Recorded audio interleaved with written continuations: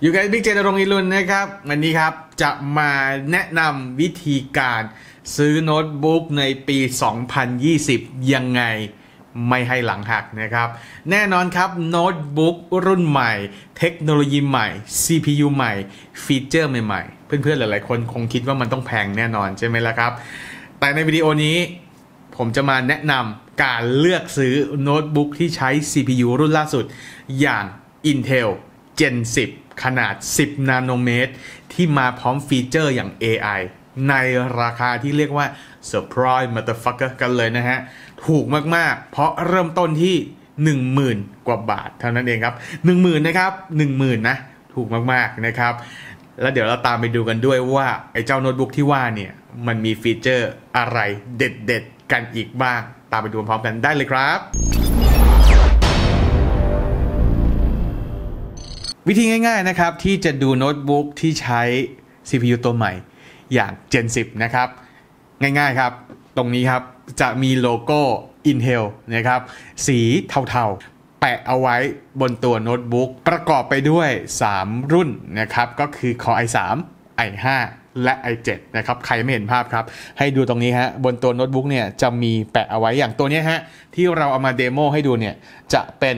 Core i7 Gen 10 นะครับ ซึ่งนะครับ CPU Gen 10 เนี่ย มันจะแบ่งออกเป็น 2 ชิปนะครับ ซึ่งก็คือชิปที่เป็น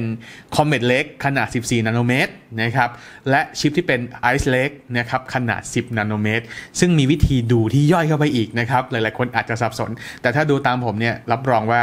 ได้แน่นอน 1 ครับสำหรับตัว Comet Lake เนี่ย ก็จะเป็นขนาด 14 นาโนเมตรนะ ยังใช้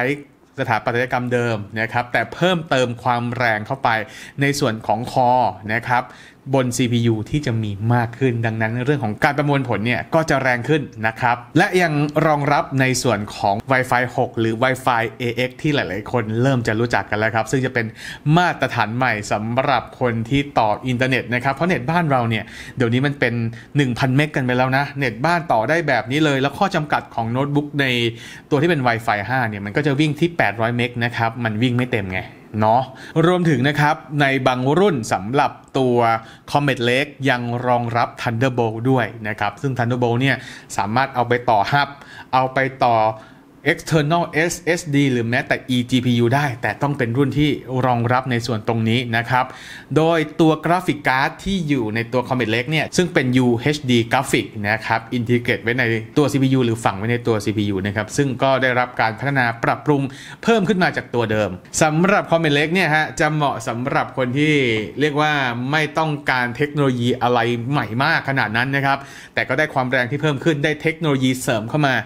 ในราคาที่ประหยัดในราคาที่คุ้มค่านะครับ ส่วนอีกตัวหนึ่งนะครับจะเป็น Ice Lake ขนาด 10 นาโนเมตรเทคโนโลยีการผลิตเล็กลงครับ ได้คอและเทรดเพิ่มมากขึ้น ดังนั้นเรื่องของความแรงแน่นอนมันต้องแรงขึ้นนะครับ มีเทคโนโลยีที่ฝังอยู่ในตัวอย่าง AI นะครับสำหรับ AI นะฮะ ยกตัวอย่างใกล้ตัวนะครับ ก็อย่างแอปพลิเคชันนะครับ ที่สามารถเอารูปเก่าๆ หรือรูปถ่ายที่หลุดโฟกัสเนี่ย มาใช้ AI ให้มันเรียนรู้แล้วพัฒนาปรับปรุงรูปอันนั้นนะฮะ ให้เป็นรูปที่โฟกัสเข้าจากรูปเก่ากลายเป็นรูปใหม่ได้ รวมถึงหลายๆ คนน่าจะรู้จักเทคโนโลยีอย่าง Deepfake นะครับ ซึ่งเป็นเทคโนโลยีที่ถ้าคนใช้ถูกก็ดีไป ถ้าคนใช้ในทางสายเทาสายมืดก็อันนี้ก็แล้วแต่เลยนะครับ ซึ่งไอตัว Ice Lake เนี่ยที่เป็น Gen 10เนี่ยขนาด 10 นาโนเมตรนะครับเขายังมี Wi-Fi นะครับที่รองรับเป็น Wi-Fi 6 หรือ Wi-Fi 6 Wi-Fi AX อยู่นะครับเหมือนกับตัว Comet Lake เลย ซึ่งมีให้เลือกกราฟิก 2 รุ่นด้วยกันนะครับ ทั้ง UHD Graphics และ Iris Pro ตัวใหม่นะครับสำหรับเจ้าตัว Ice Lake 10 นาโนเมตรจะเหมาะสำหรับคนที่ต้องการเทคโนโลยีใหม่ๆ ของสดๆนะครับเรียกว่า 10 นาโนเมตรเนี่ยบนโน้ตบุ๊กที่เป็นเจ้าแรกเลยนะครับและที่ขาดไม่ได้เลยนะครับสำหรับ Ice Lake เนี่ยนะฮะ 10 นาโนเมตรเนี่ยมันจะเหมาะสำหรับคนที่ต้องการเทคโนโลยีใหม่จริง ๆ แต่ทั้งนี้ครับ ราคาของ Ice Lake เนี่ยแพงกว่าตัว Comet Lake แค่นี้เดียวเอง เริ่มต้นในช่วงหมื่นหมื่นกลางๆ 20,000 ก็มีให้เห็นกันแล้วนะครับ หรือใครอยากจะได้ตัวท็อปๆ อย่าง 20,000 30,000 50,000 60,000 ก็มีให้เลือกกันนะครับ นี่คือวิธีการดูชิป แยกออกมานะครับ ซึ่งจะมีอยู่ด้วยกัน 2 ชิป แต่ถ้าใครยังเอ๊ดูแค่นี้แล้วยังไม่เข้าใจนะครับ เรามีวิธีดูง่ายกว่านั้นอีกนะครับ ก็คือดูรหัสของ CPU รหัสเนี่ยดูง่ายมาก เดี๋ยวเราตามไปดูกันต่อเลยครับสำหรับวิธีการดูรหัสรุ่นนะครับ เราเริ่มกันที่ Comet Lake ก่อนเลย Comet Lake 14 นาโนเมตร Gen 10 นะครับ วิธีการดูก็ไม่ยากนะ มันจะมีอยู่ด้วยกันประมาณ 3 แพทเทิร์น อันดับแรกครับดูที่ Intel Core i นะครับ i3 i5 i7 อันนี้ดูง่ายแยกย่อยเลย i3 คือตัวเริ่มต้น i5 คือตัวกลาง และ i7 คือตัวท็อปนะครับ ต่อท้ายด้วยชุดตัวเลขอีก 5 ตัวด้วยกันนะครับ ก็จะเป็นอย่างตัวเลข 105 ตุ๊ดตุ๊ดนะครับ 103ตึ๊ดตึ๊ดตัวนี้ฮะ จะบอกว่าเป็น Gen 10 แล้วก็จะมีความแรงในเลเวลของโมเดล i3 i5 i7 สูงต่ำตามนี้นะครับ แล้วต่อท้ายอีกตัวหนึ่งนะครับก็เป็นรหัส U หรือ Y ตัว U ก็จะเป็นโน้ตบุ๊กประหยัดไฟทั่วไป ส่วนตัว Y จะเป็นในกลุ่มของพวก Ultra Book นะครับวิธีการดูอย่างที่บอกครับ i3 i5 i7 ชุดตัวเลข 5 ตัว และรหัสต่อท้าย Y หรือ U นั่นเองนะครับนี่คือตัว Comet Lake ครับ ส่วนตัวของ Ice Lake นะครับที่เป็น Intel Gen 10 ขนาด 10 นาโนเมตรเนี่ยวิธีการดูก็ใกล้เคียงกันครับ ก็จะเริ่มต้นด้วย Core i3 i5 i7 นะครับในด้านหน้าเนี่ยก็เหมือนเดิมครับ i3 ตัวเล็ก ตัวกลาง i5 และตัวใหญ่สุดคือ i7 นะครับตัวชุดตัวเลข 4 ตัวก็จะเป็น Gen 10 นะครับ แล้วก็จะเป็นโมเดลย่อยนะครับใน Core i ต่างๆ และสุดท้ายตัว G ก็คือกราฟิกนะครับ ยิ่ง G เยอะก็ยิ่ง ใช้กราฟิกการ์ดในตัว integrate เนี่ยแรงนะครับ แต่ทั้งนี้เนี่ยบางตัวนะครับบางโน้ตบุ๊กบางยี่ห้อบางรุ่นเนี่ย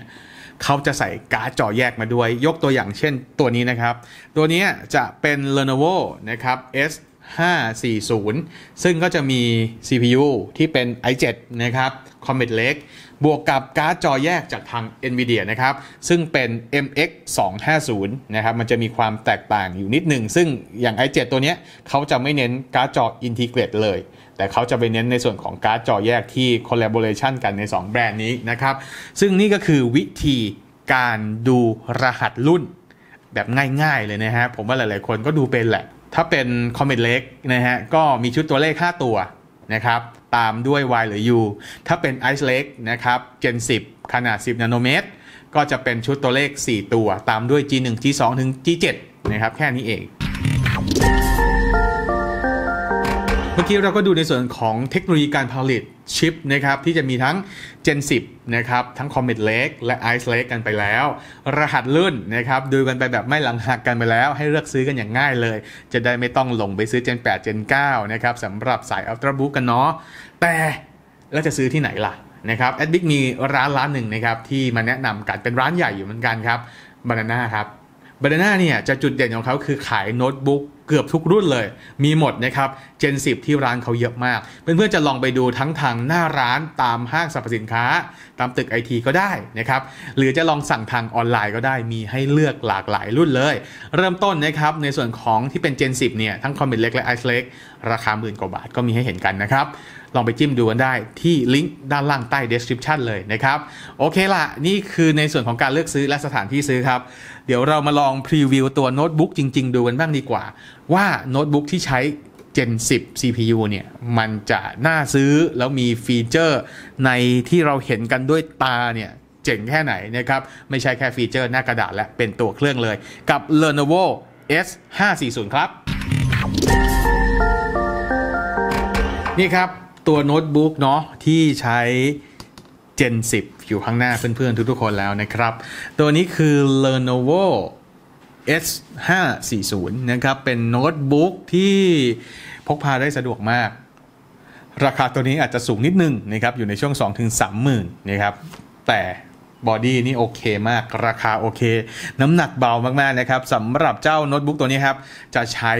เป็น Comet Lake นะครับ Gen 10 เป็น i7 10510U นะครับ มีกราฟิกในตัวซึ่งก็จะเป็น UHD กราฟิกนะครับ อย่างที่ผมแจ้งไปว่าเขาไม่ได้เน้น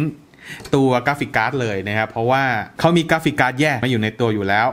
ซึ่งจุดเด่นของเจ้าเนี่ย i7 ตัวนี้ครับ มี Boost Clock สูงถึง 4.9 เลยนะฮะ เยอะมากนะครับ ถึงแม้จะเป็น 14 นาโนเมตรอยู่แต่ Boost Clock 4.9 โอ้โห เด็ดทีเดียวนะครับ และมี core thread อยู่ที่4ทับ8นะครับช่วยกันประมวลผลได้เป็นอย่างดีเลย นอกเหนือจากนี้นะครับ ในส่วนของพอร์ตเชื่อมต่อของโน้ตบุ๊กตัวนี้ ก็ครบเครื่องครบครันครับ มีทั้ง HDMI นะครับ มี Type C USB นะครับ Audio นะครับ เสียดายครับเขาไม่ใส่ Thunderbolt มาให้ ถ้ามี Thunderbolt มาด้วยเนี่ยแจ่มมาก ๆ เลยนะครับ ส่วนอีกด้านหนึ่งครับ จะมีในฝั่งของ SD card reader USB นะครับ แน่นอนครับ ตัวนี้ออกแบบมาเพื่อการทำงานเลยฮะ เพราะว่ามี SD card reader อยู่ ตัวโลโก้ Lenovo เนี่ยก็สวยนะครับ ใช้ลักษณะเหมือน แท็กพวกกางเกงยีน แท็กพวกเสื้อผ้าแฟชั่นนะครับจะเป็น tag แบบนี้จะไม่ใช้โลโก้ตรงกลางและเออเด็ดดีเหมือนกันนะ ส่วนการระบายความร้อนด้านหลังนะครับด้วยความที่เป็น CPU Gen ใหม่นะครับความร้อนก็หายห่วงมี Windows 10 ให้ด้วยนะครับสบายสบายเลย นี่ก็คือตัวอย่าง demo โน้ตบุ๊กนะครับในส่วนของ Gen 10 ที่ให้ได้ดูกันหน้าจอครับเป็น 14 นิ้ว IPS ด้วยน้ำหนักเบานะครับมีระบบเสียงอย่าง Dolby Audio นะครับ แป้นพิมพ์ตามสไตล์ของ Lenovo นี่คือตัวอย่างที่น่าสนใจตัวหนึ่งนะครับจากโน้ตบุ๊กในฝั่งของ Lenovo ที่ใช้ CPU Intel Gen 10 นะครับ ใครที่เอบอกว่าอยากได้เทคโนโลยีใหม่ๆ กว่านี้นะครับ ในส่วนของ Ice Lake นะครับก็มีให้เลือกกันอย่างที่แจ้งไปเลย ราคาสตาร์ทเริ่มต้นหลักหมื่นเท่านั้นนะครับ ทั้ง Comet Lake และ Ice Lake รอบนี้ทำราคามาได้ถูกมากๆเลยนะครับ ก็ถือว่าน่าสนใจเนาะสำหรับคนที่กำลังมองหาโน้ตบุ๊กที่ไม่ใช่ gaming โน้ตบุ๊กจ๋าๆนะครับ Gen 10 ของทาง Intel ตอบโจทย์ในการใช้งานได้หลากหลายแล้วครับ ไม่ว่าจะไปใช้ตัดต่อนิดๆหน่อยๆนะครับทำภาพเอาไปใช้เล่นเกมมีการ์ดจอแยกแบบนี้ หรือแม้แต่ในหลาย ๆ ตัวนะครับที่เป็น Gen 10 อย่างพวก Creator Notebook อย่าง MSI เองก็เริ่มมีใส่การ์ดจอแยกที่เป็น GTX 1650 มาแล้ว ใครอยากได้ Gen 10 ที่พกพาง่าย แต่มีความแรงลองหาดูกันได้มีหลากหลายตัวเลยครับ ลองไปจิ้มกันได้นะครับ ที่ออนไลน์หรือไปลองดูตัวจริงกันได้ที่ Banana นะครับ ตามช็อปต่างๆ มีให้เลือกหลากหลายรุ่นเลยนะฮะ ที่สำคัญผ่อนได้นะ ชอบร้านเขาตรงนี้แหละครับ ผ่อนได้ด้วยโอ้โหรูดบัตรกันเพลินเลย ก็ฝากไว้ด้วยนะครับ อย่าลืมครับเลือกซื้อโน้ตบุ๊กตัวใหม่ อย่าลืม ใช้ Gen 10 ด้วยนะ จะได้ไม่หลังหักเจ็บใจกันในภายหลังครับ ขอบคุณทาง Intel ประเทศไทยด้วยนะครับที่ส่งโน้ตบุ๊กมาให้ได้ลองกันขอบคุณทาง Lenovo ด้วยนะฮะ วันนี้ขอตัวลาไปก่อนและอยากให้รีวิวโน้ตบุ๊กตัวไหนอย่างไรนั้นพิมพ์ไว้เลยใต้คอมเมนต์ครับ ไปแล้วครับ สวัสดีครับ